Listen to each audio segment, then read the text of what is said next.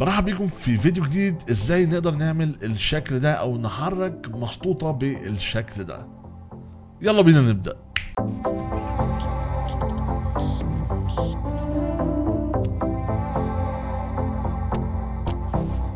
السلام عليكم ورحمة الله وبركاته. أهلا بيكم معاكم مصطفى مكرم. النهاردة هنعرف إزاي أقدر إن أنا أحرك شيب أو شكل بالمنظر اللي إحنا شايفينه ده عن طريق حاجات بسيطة قوي وبشكل سريع من غير أي صعوبة.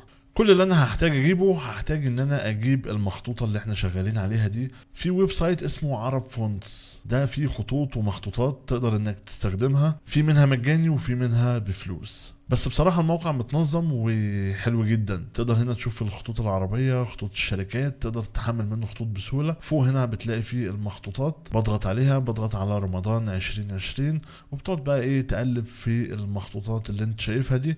اختار أي حاجة أنت عايزها. مثلا أنا اخترت المخطوطة دي بضغط عليها وهنا بروح على تحميل وبضغط بالشكل ده بيبدأ إن هو يحمل معايا. دي أول إضافة هنحملها. تاني حاجة هحتاج إن أنا أروح لفيديو كوبايلوت واحمل بلجن سيبر. أنا اتكلمت عنه قبل كده. النهارده هنبدأ إن إحنا إيه نطبق تطبيقات له واستخداماته كتيرة جدا تقدر توظفه في أكتر من حاجة.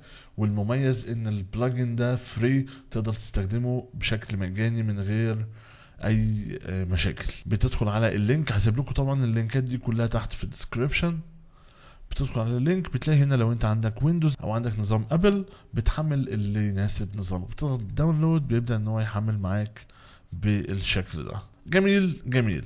موضوع ال setup الخاص بال plugin كل اللي انت بتعمله بتفتح ال plugin وبتضغط next next next وخلاص. خلينا نروح بقى على Adobe Photoshop الأول علشان نبدأ نجهز المخطوطة بتاعتنا. المخطوطة بتنزل بالامتداد ده اللي هو SVG عادي تقدر تفتحه على Adobe Photoshop تضغط عليه double click بالشكل ده وبيفتح معاك من غير أي مشاكل. طبعا بقى أنا مش هحتاج ال الكلام ده كله هبدأ إن أنا أقص بالشكل ده. أنا مش عايز كلمة يفرحنا. وهنا كمان برضو عرب فونتس مش عايز دي ومش عايز برضو التشكيل ده. بروح بقى بفتح ملف جديد Control N وبختار ال Full HD أو مقاس الفيديو اللي أنا هشتغل عليه. وببدأ إن أنا أروح هنا وطبعا بال move tool ببدأ إن أنا أسحب كلمة رمضان على ال file هنا وأبدأ بقى إن أنا أصغرها بالشكل ده مثلا أنا عايزها تكون كده. بضغط Control وأحدد ال layer التانية وبروح هنا على ال align ببدأ إن أنا أظبطها في النص. بعد ما بخلص بخفي ال background وأعمل Control Alt S وأبدأ إن أنا أحفظها PNG علشان تكون بخلفية شفاف. بروح على Adobe After Effects بفتح new composition على بمقاس 1920 في 1080 وأقول له okay و double click هنا في ال project ببدأ إن أنا أجيب الملف بتاعي وأبدأ إن أنا أسحبه هنا على ال timeline بلاقي كلمة رمضان بالشكل ده. ولو أنا هنا رحت على ال effect وكتبت اسم ال plugin اللي هو Saber بلاقيه بالشكل ده. طيب لو ال panel دي مش موجودة بتروح هنا على window وبتختار effects and presets. علشان تحط ال plugin على ال layer يا إما بتعمل عليه double click بينزل ال plugin أو إنك بتمسكه وتسحبه وتحطه على ال layer هنا. طيب في نقطة هنا. دلوقتي هو ال plugin مش هيتعرف على الشكل بتاعي أو الصورة ال PNG بتاعتي. فأنا لازم أحول دي ل mask طب إزاي هقدر إن أنا أحولها ل mask بكل بساطة هتروح هنا على layer وهنا هتقول له auto trace تضغط عليها بالشكل ده وبعد كده بتقول له okay ما تعدلش في أي حاجة. لو أنت حابب تظبط فيها شوية يعني ممكن تجرب شوية في الإعدادات هسيب لكم أنتوا الموضوع ده. بعد كده هروح على Saber تاني وأعمل double click طيب مفيش أي حاجة حصلت برضه. بروح بقى هنا على ال effects control طبعا هنا دي ال project هنا ال effects control اللي بقدر أتحكم منها في أي effects بقدر إن أنا أضيفه جوه ال After Effects بروح هنا على حاجة اسمها customize core بفتحها بالشكل ده. هنا مكتوب ال core بتاعي Saber بقول له لا أنا عايز ال layer mask أو هات لي ال mask اللي أنا شغال عليه.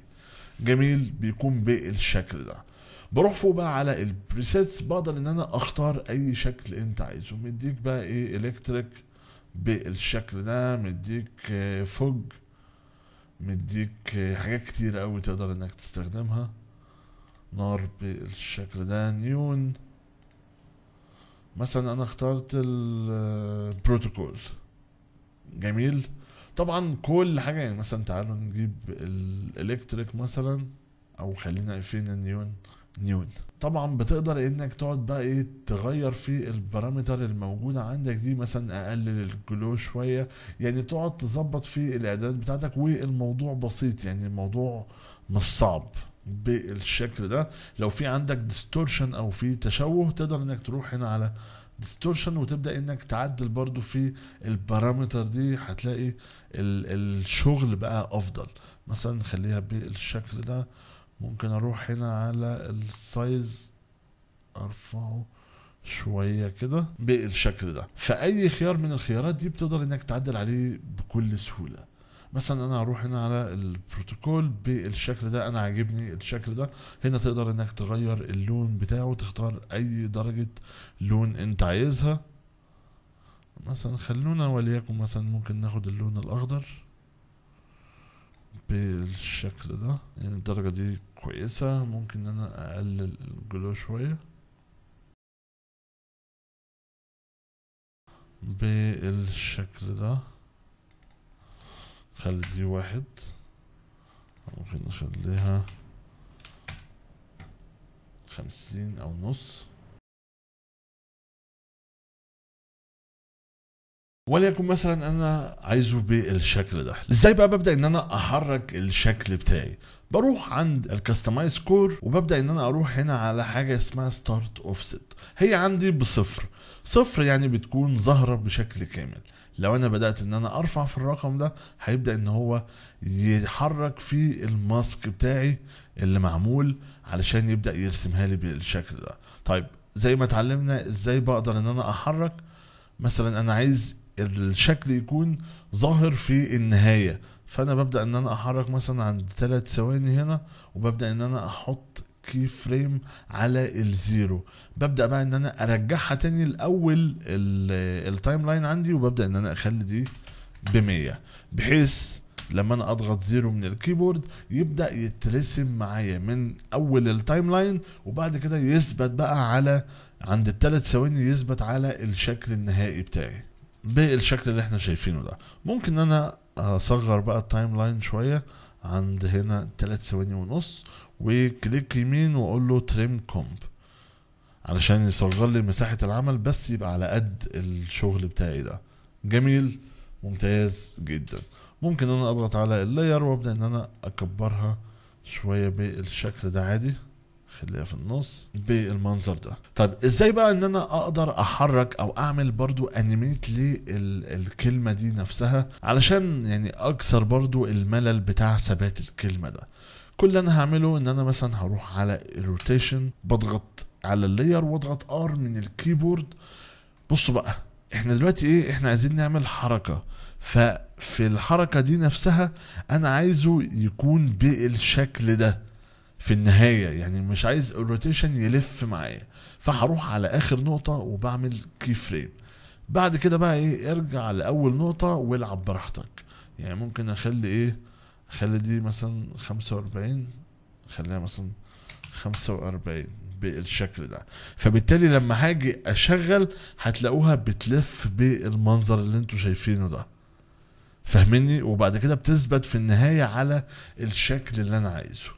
طيب ممكن أضيف إيه كمان؟ ممكن أضيف S أضيف scale نفس الكلمة هروح على الآخر هنا عندي. خلونا بس إيه نروح هنا على ال rotation ممكن إيه إن إحنا نقدم شوية ال key frame هنا. يعني ممكن يبقى لحد هنا كويس قوي أو إيه أول ما يبدأ يخلص الشكل بتاعي ويثبت يبقى بالشكل ده هنا.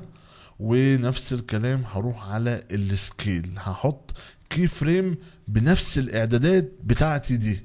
وببدأ إن أنا أرجع في الأول وأبدأ إن أنا أكبر بقى شوية بالشكل ده. فلما ببدأ إن أنا أضغط zero من ال keyboard فبيظهر معايا بالشكل ده وبعد كده بيثبت على الشكل النهائي اللي هو الأخير ده. فدي أسهل طريقة علشان إنك تعمل key frame ويظهر معاك بالمنظر ده. بتمنى الدرس يكون واضح وبسيط وال Saber من الحاجات القوية جدا اللي تقدر تطلع بيها شغل كتير قوي. هعمل لكم أكتر من تطبيق إن شاء الله بحيث إزاي نقدر إن إحنا نوظفه في شغلنا. في الختام سبحانك اللهم وبحمدك أشهد أن لا إله إلا أنت أستغفرك وأتوب إليك.